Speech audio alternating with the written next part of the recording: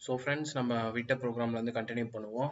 So நம்ம swapping இந்த இது வந்து தியரட்டிக்கலாக பார்த்துருந்தோம். இப்போ ப்ரோக்ராமிங்கை பார்த்துருவோம். ஸோ நான் வந்து என்ன பண்ணியிருக்கேன் அப்படின்னா ஒரு ஸ்வாப் ஃபங்க்ஷன் வச்சுருக்கேன் ஃபஸ்ட்டு ஸ்வாப்னா என்ன அப்படின்னா ஒன்றும் இல்லை. என்கிட்ட இருக்கிறத உன்கிட்ட கொடுக்குறேன். உன்கிட்ட இருக்கிறத என்கிட்ட கொடு அப்படின்ற மாதிரி. ஒன்றும் இல்லை. நீங்கள் ஒரு புக் வச்சுருக்கீங்க. உங்கள் ஃப்ரெண்டு ஒரு புக் வச்சுருக்கான். நீங்கள் உங்ககிட்ட இருக்க புக்கை படிச்சிட்டீங்க. உங்கள் ஃப்ரெண்டு கிட்ட இருக்க புக்கை வாங்கி படிக்கணும். அப்போ நீங்கள் என்ன பண்ணுவீங்க? டே நான் என் புக்கை அவன்கிட்ட தரேன்டா. நீ படிச்சுக்கூடா. உன் புக்கை என்கிட்ட கொடுறா. நான் படிச்சுக்கிறேன்டா. அப்படி சொல்லுவோம்ல. அதுதான் ஸ்வாப் அதே மாதிரி தான் இங்கே ஏல பத்துன்னு ஒரு நம்பர் இருக்கு. பியில் இருபதுன்னு ஒரு நம்பர் இருக்கு. இப்போ இந்த ரெண்டு நம்பரையும் நம்ம என்ன பண்ணணும்னா மாற்றணும் ஸோ இதுக்காக நம்ம ஃபங்க்ஷன்ஸ் யூஸ் பண்ண போகிறோம் அதில் வந்து கால் பை வேல்யூ மெத்தட் இது. ஸோ இதெல்லாம் சின்டாக்ஸ் பேசிக்காக உங்களுக்கு தெரியும். இன்ட் மெயின் நம்ம ஃபங்க்ஷனில் ஏபியை ஒன்று டிக்ளேர் பண்ணிட்டேன். நம்மளோட ஃபங்க்ஷனை கால் பண்ணுறேன் ஸோ ஏ கமா பியை பாஸ் பண்ணுறேன் அப்போ என்ன ஆகும்னா அது இங்கே போகும். ஸோ ஏயோட வேல்யூ இங்கே வரும் பியோட வேல்யூ இங்கே வரும். டெம்பரவரி வேரியபிளும் ஒன்று கிரியேட் பண்ணுறோம் அப்போது என்ன ஆகும்? நமக்கு வந்து எப்படி ஃபங்க்ஷன் ஒர்க் ஆகுது அப்படின்றத மெமரியில் போட்டு காமிச்சேன். அதே தான் இங்கே கோடிங் எழுதியிருக்கேன். நான் ரன் பண்ணுறேன் அவுட்புட் பாருங்கள்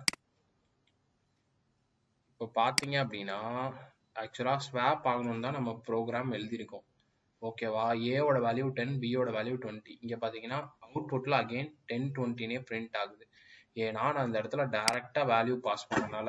இப்போ நான் என்ன பண்ண போகிறேன்னா டேரெக்டாக வேல்யூ பாஸ் பண்ணாமல் மாற்ற போகிறேன் ஸோ எப்படி மாற்ற போகிறேன்னா கால் பை அட்ரஸாக மாற்ற போகிறேன் அப்போது என்ன பண்ணணும்னா இதெல்லாம் பாயிண்டராக மாற்றணும் so pointer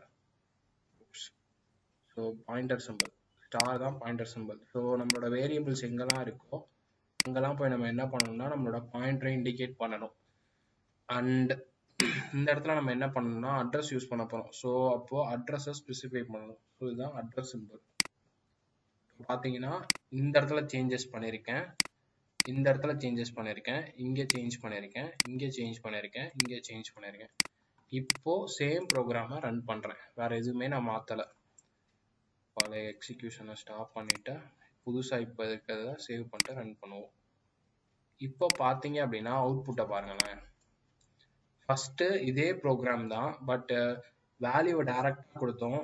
டென் டுவெண்ட்டி மாறாமல் டுவென் டுவெண்ட்டினே வந்துச்சு.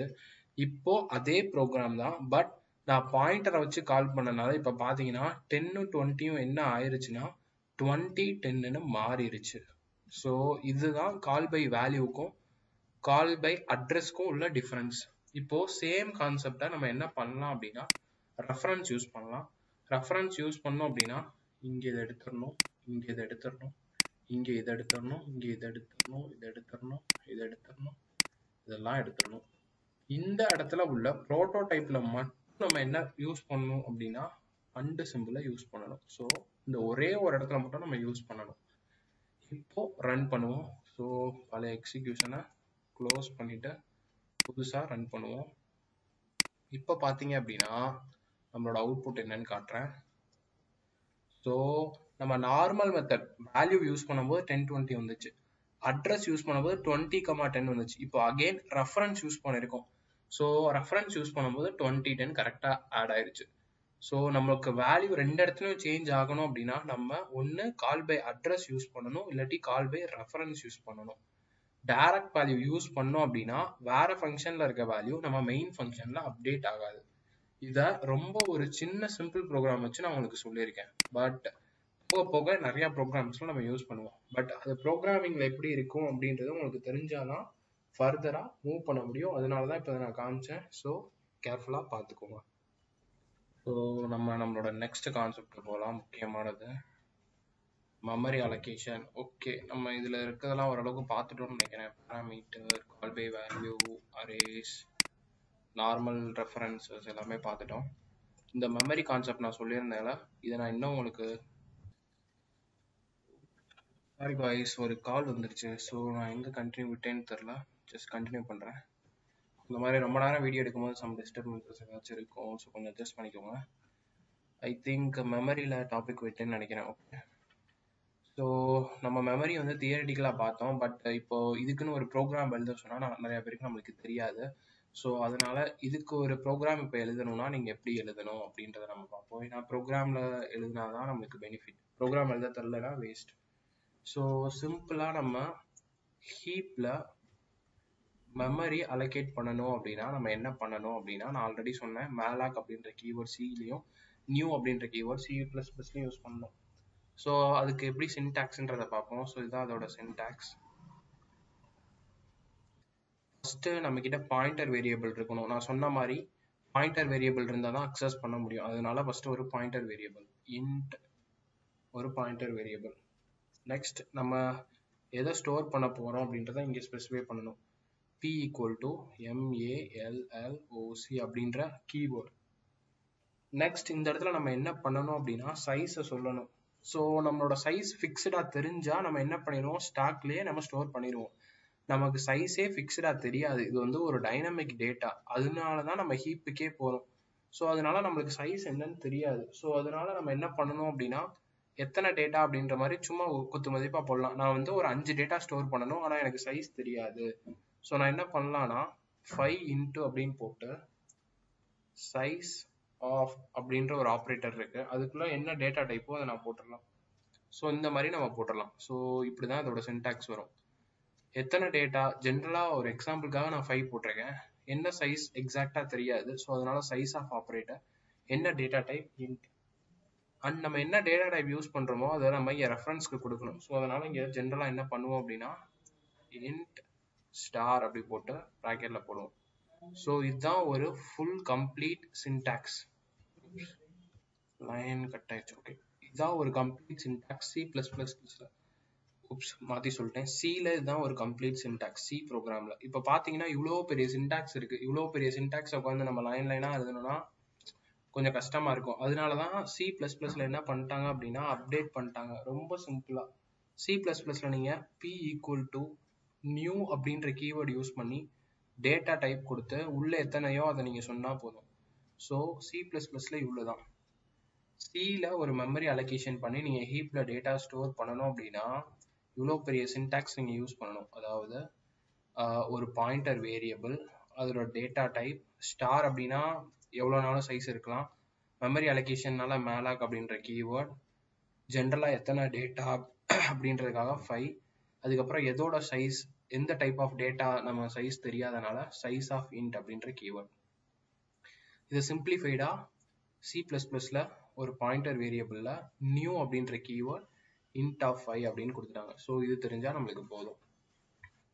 ஸோ இப்போ நம்ம கோடிங்கை மாற்றணும் இதுக்கு ஒரு எக்ஸாம்பிள் ப்ரோக்ராம் எழுதி நம்ம இப்போ இதுக்கு கோடிங்கை மாற்றணும் எப்படி மாற்றலாம் அப்படின்னா ஃபார் எக்ஸாம்பிள் ஒரு சினாரியோ கன்சிடர் பண்ணிங்க. கன்னி பண்ணிக்கோங்க ஏன்னா அந்த சினாரியோ அதாவது நீங்கள் வந்து ஒரு ப்ரோக்ராம் எழுதணும். அந்த ப்ரோக்ராமில் ஃபஸ்ட்டு நீங்கள் என்ன கேட்கணும் அப்படின்னா சைஸ் எவ்வளோன்னு நீங்கள் கேட்கணும். அதுக்கப்புறம் ஃபார் எக்ஸாம்பிள் இப்போ பத்துன்னு சொன்னாங்க அப்படின்னா பத்து டேட்டாவை வாங்கி பத்து டேட்டாவை பிரிண்ட் பண்ணணும். பதினஞ்சுன்னு சொன்னாங்கன்னா பதினஞ்சு டேட்டாவை வாங்கி பதினஞ்சுன்னு பிரிண்ட் பண்ணணும். இது பத்தா இது பதினஞ்சா இது இருபதா அப்படின்றத சொல்ல மாட்டாங்க. ஓகேவா டிஃபால்ட்டாக அந்த சைஸை சொல்லிட்டாங்க அப்படின்னா நம்ம ஸ்டாக்ல நீட்டாக எழுதிட்டு போயிடலாம் ஸ்டாக்லே நார்மலாக ஆனால் சைஸை சொல்ல மாட்டாங்க. அப்போ நம்ம என்ன பண்ணணும் அப்படின்னா டைனமிக்காக தான் ப்ரோக்ராம் எழுதணும். டைனமிக்காக ப்ரோக்ராம் எழுதணும் அப்படின்னா நம்ம ஹீப் மெமரி தான் யூஸ் பண்ணணும். ஸோ அந்த ஹீப் மெமரியை யூஸ் பண்ண தான் இந்த சின்டாக்ஸ் ஒன்றும் இல்லை. ரியல் டைம் சினாரியோ அப்படின்னா ஒன்றும் இல்லை. இப்போ நீங்களே உங்கள் வீட்டில் ஒரு ஃபங்க்ஷன் வைக்கிறீங்க. மேரேஜ் ஃபங்க்ஷனாக இருக்கலாம் இல்லாட்டி பர்த்டே பார்ட்டியாக இருக்கலாம் ஏதோ ஒரு ஃபங்க்ஷன் வைக்கிறீங்க. நீங்கள் உங்கள் ரிலேட்டிவ்ஸ் ஃப்ரெண்ட்ஸ்க்கெலாம் இன்விடேஷன் கொடுக்குறீங்க. ஒரு நூறு பேருக்கு கொடுத்துட்டீங்க. நூறு பேரும் ஃபங்க்ஷனுக்கு வருவாங்களான்னு தெரியாது. ஐம்பது பேர் வரலாம் அறுபது பேர் வரலாம் நூறு பேர் வரலாம் இல்லை எக்ஸ்ட்ரா அவங்க இன்னும் ரெண்டு ஃப்ரெண்ட்ஸை கூட்டிகிட்டு வரலாம் நூறு பேரை தாண்டி வரலாம். ஸோ ஒரு ஃபிக்ஸ்டாக ஒரு டேட்டா நம்மளுக்கு தெரியாது. இந்த மாதிரி எந்தெந்த சுச்சுவேஷன்லலாம் நம்மளுக்கு எக்ஸாக்டாக ஃபிக்ஸ்டு டேட்டா தெரியலையோ அங்கே எல்லா இடத்துலையும் நம்ம ஹீப் மெமரியை தான் அக்சஸ் பண்ணுவோம். டைனமிக்காக தான் ப்ரோக்ராம் எழுதுவோம். இதை தான் டைனமிக் ப்ரோக்ராமிங்னு சொல்லுவோம். இப்போ ரியல் டைம் சுச்சுவேஷன்லாம் எடுத்தீங்க அப்படின்னா நைன்டி நைன் பர்சன்டேஜ் எல்லாமே டைனமிக் ப்ரோக்ராமிங் தான் நடக்கும்.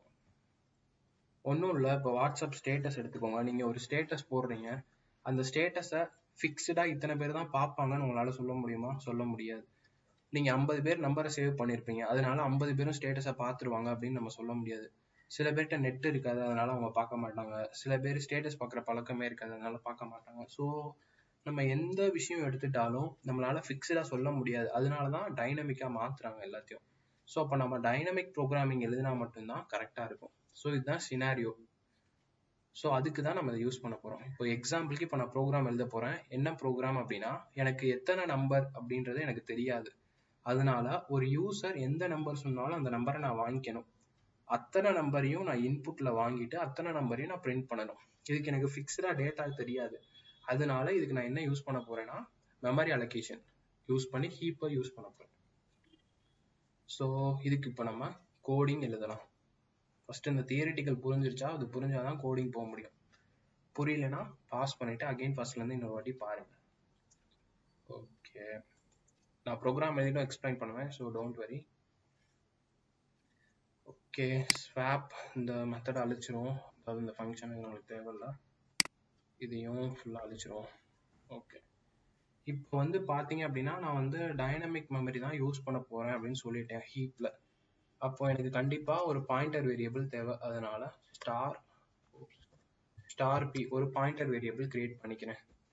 நெக்ஸ்ட் எத்தனை பேர் வந்து என் ஃபங்க்ஷனுக்கு வருவாங்கன்னு தெரியாது. அதாவது எத்தனை இன்புட் ஒரு யூசர் கொடுப்பாங்கன்னு தெரியாது. அதனால என் டோட்டல் நம்பர் அதுக்காக ஒன்று அதுக்கப்புறம் மோர் தென் ஒன் டைம் ஏதாச்சும் விஷயம் நடக்குது அப்படின்னா நம்ம லூப்ஸ் யூஸ் பண்ணுவோம். ஸோ லூப்புக்கு ஒரு வேரியபிள் தேவைப்படும். இனிஷியலைஸ் பண்ண. அதனால அதுக்கு ஒரு வேரியபிள் ஓகே முடிஞ்சு. நெக்ஸ்ட் நான் வந்து கேட்கணும். அதாவது என்ன சொல்றது? எத்தனை டோட்டல் நம்பர் ஆஃப் கவுண்ட் அப்படின்றத கேட்கணும். ஸோ அதை கேட்குறக்காக ஒரு statement enter the size okay நம்ம சைஸ் வாங்கியாச்சு. நெக்ஸ்ட் என்ன பண்ணணும்னா ஃபர்ஸ்ட் எடுத்தோடனே நம்மளுக்கு என்னென்ன தேவையோ அதுக்கேற்ற மாதிரி போட்டாங்க. சைஸை கேட்டுட்டோம் அவங்க கொடுப்பாங்க. அதை நம்ம ஸ்டோர் பண்ணணும். எதில் ஸ்டோர் பண்ண போகிறோம் அப்படின்னா எண்ணில் ஸ்டோர் பண்ண போகிறோம் ஸோ என் தான் நம்மளோட டோட்டல் சைஸ் நெக்ஸ்ட் வந்து நம்ம அலோகேட் பண்ணணும். அதாவது ஹீப் மெமரியில தான் போய் இந்த டேட்டா ஸ்டோர் ஆகணும் டைனமிக்கா அப்படின்றத அலோகேட் பண்ணணும். எப்படி அலோகேட் பண்ணுவோம்? நம்ம தான் சின்டாக்ஸ் பார்த்தோம். ஸோ பாயிண்டர் வேரியபிளில் தான் ஸ்டோர் பண்ண முடியும். இதில் எது பாயிண்டர் வேரியபிள் பி அதனால பி போடுறேன். நெக்ஸ்ட் ஈக்குவல் டு நம்ம டைனமிக் மெமரி யூஸ் பண்ணோம்னா என்ன கீவேர்டு நியூ அப்படின்றது கீவேர்டு ஓகே அடுத்து நம்ம என்ன சொல்லணும்? டேட்டா டைப் சொல்லணும். எத்தனை பேர் அப்படின்றது நம்பர் ஸோ நான் நம்பர் தான் ஸ்டோர் பண்ண போகிறேன் அது வந்து ஒரு இன்டீஜர் டேட்டா டைப் அதனால இன்ட் எவ்வளோ நம்பர்னு எனக்கு ஃபிக்ஸ்டாக தெரியாது. அதனால என் இப்போ நீங்கள் எங்கே பார்த்தாலும் என் என் என் தான் யூஸ் பண்ணியிருக்கேன். ஸோ யூசர் பத்துன்னு கொடுத்தாங்கன்னா பத்து பேர் கேல்குலேட் பண்ணும். யூசர் இருபதுன்னு கொடுத்தாங்கன்னா இருபது பேருக்கு.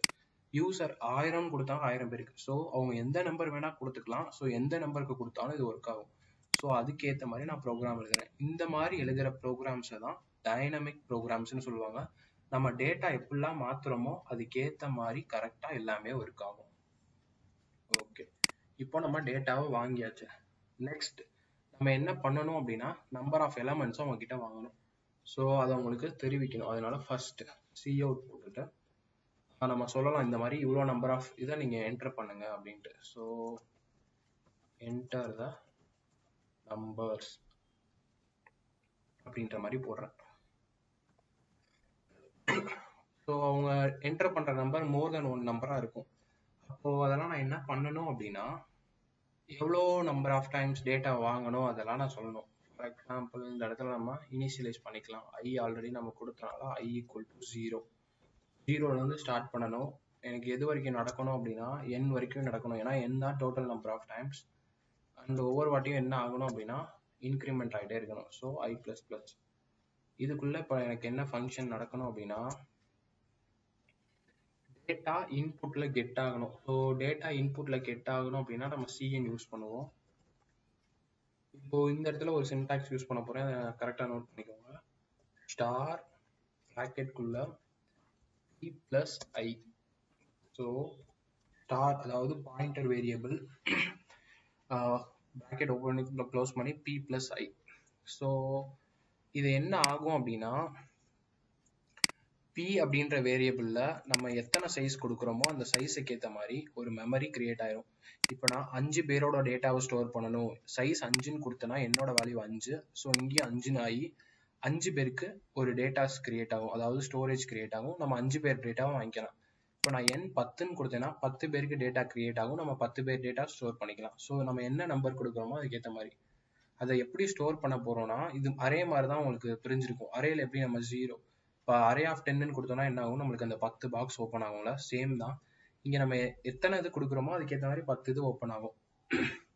ஸோ நம்ம ஐ ஜீரோலேருந்து ஸ்டார்ட் பண்ணுறனால பி ஆஃப் ஜீரோவில் பொசிஷனில் ஒன்று பி ஆஃப் ஃபர்ஸ்ட் பொசிஷனில் ஒன்று பி ஆஃப் செகண்ட் பொசிஷனில் ஒன்று அந்த மாதிரி டேட்டா வந்து என்ன ஆகும் அப்படின்னா ஸ்டோர் ஆகிட்டே போயிட்டே இருக்கும். ஸோ அதுக்காக தான் இந்த சின்டாக்ஸ் ஸோ இது அடுத்தடுத்து நம்மளோட டேட்டாவை ஸ்டோர் பண்ணிக்கிறோம்.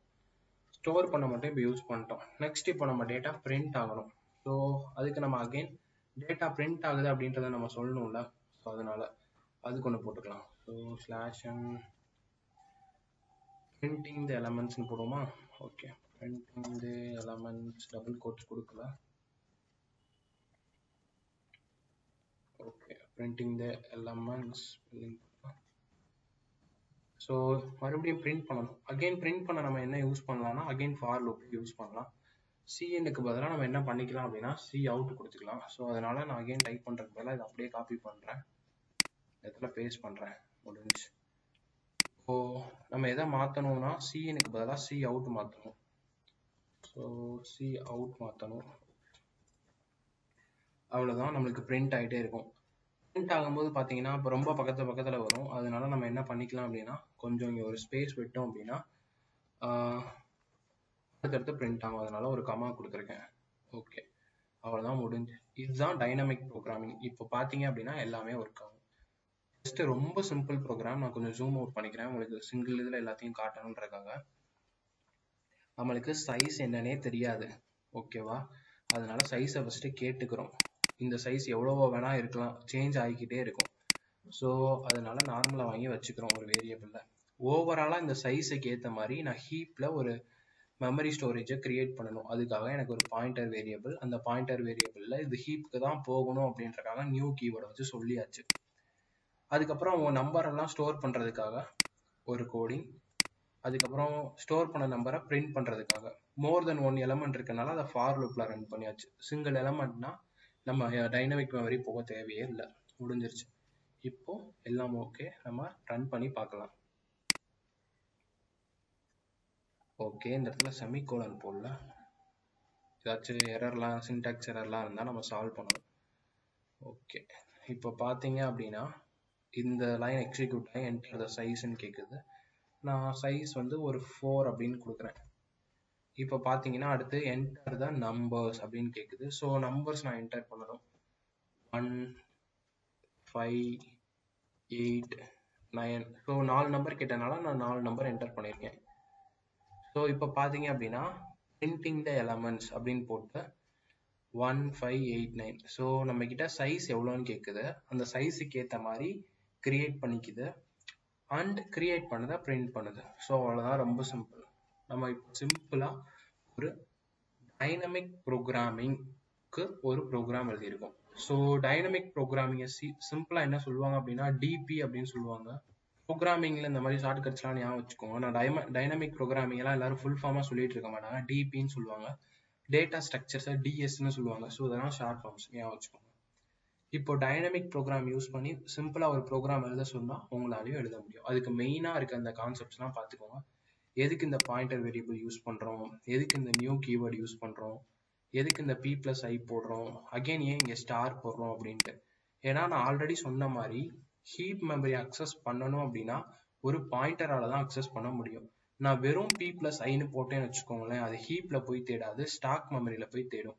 ஸ்டாக் மெமரியில அப்படி ஒரு டேட்டாவே இருக்காது ஸோ ப்ரோக்ராம் ரன் ஆகாது.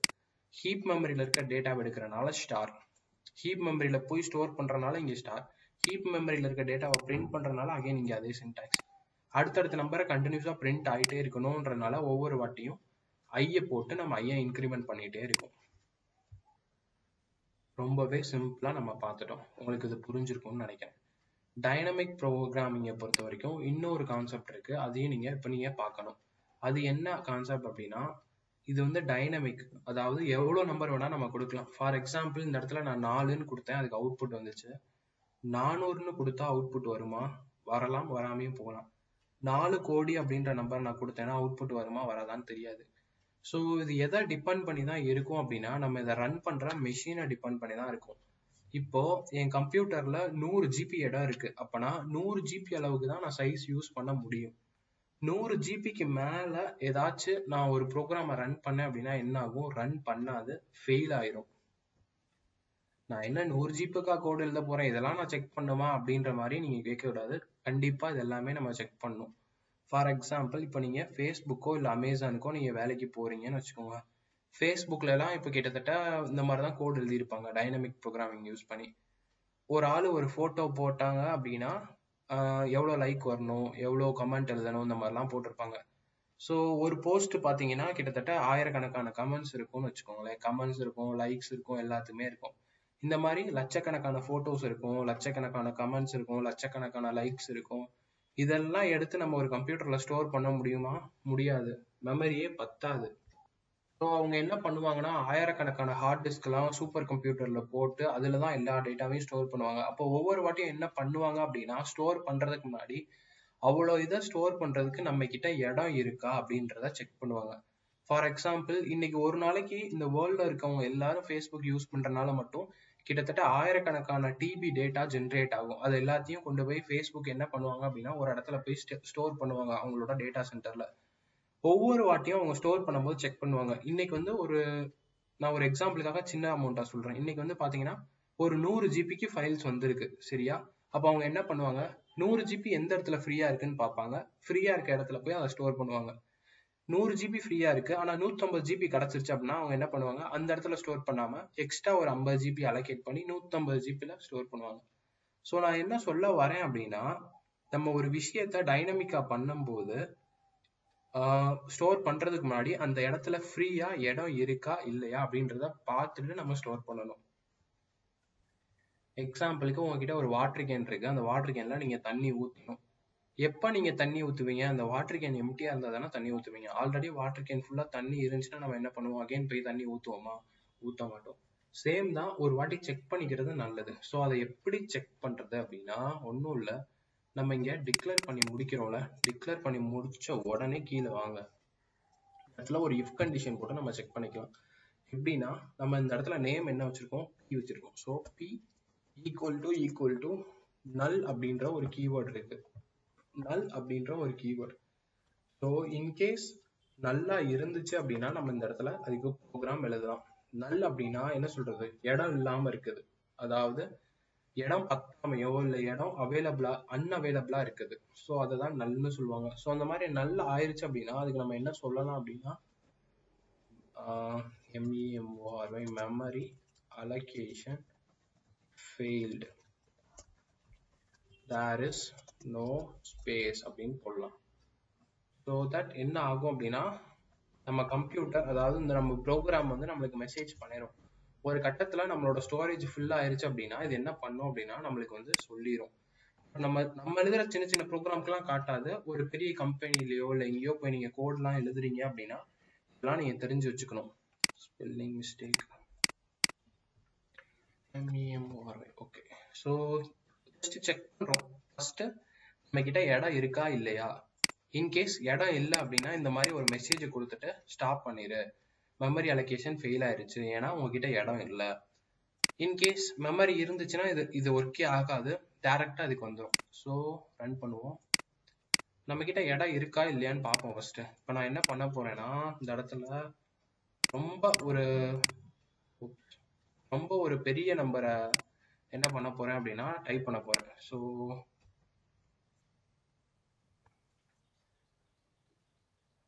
ஓகே